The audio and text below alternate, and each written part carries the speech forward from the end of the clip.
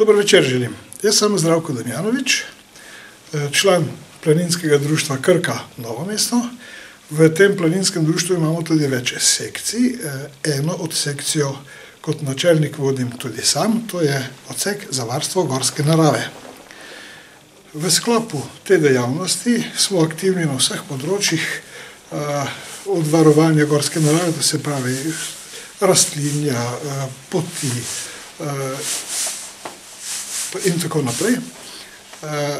Večkrat prirejamo razstave in pa seveda tudi, tudi predavanja.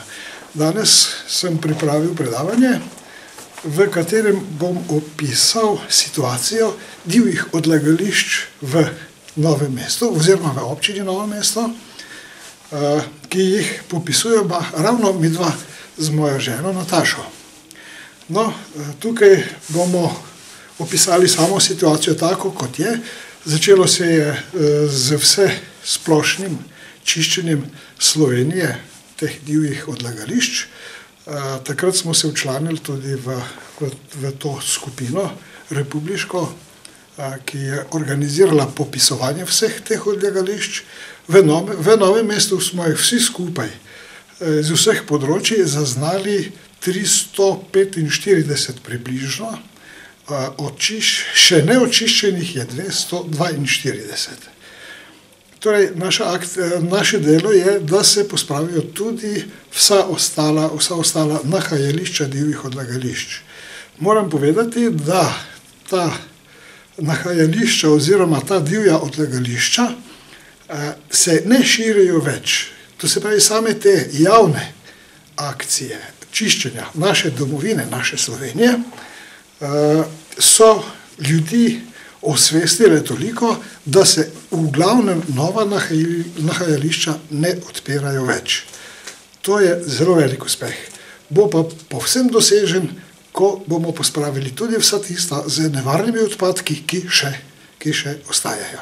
V novomeški občini ne smemo reči, da je alarmantno, je pa, je pa zelo neugledno. V okolici, in seveda vzgoja ljudi, posameznikov, da do tega več ne bi prihajalo.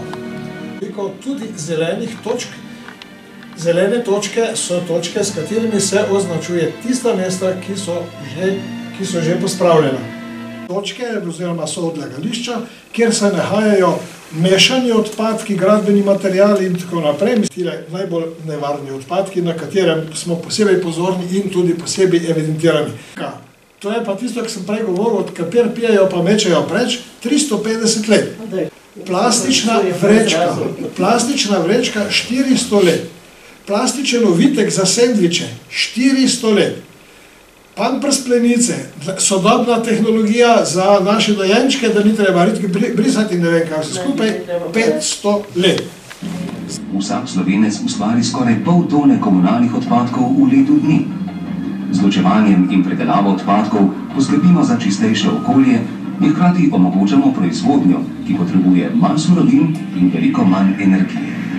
Petdeset odstotkov papirja in triinštirideset odstotkov stekla, ki ga proizvajajo v Evropski uniji, danes nastane iz recikliranih materialov.